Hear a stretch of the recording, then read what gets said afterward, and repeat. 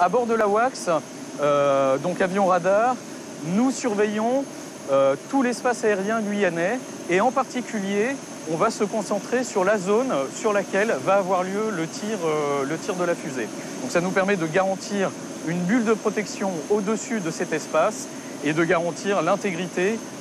et la sécurité du pas de, tir en coordination avec les éléments qui sont au sol.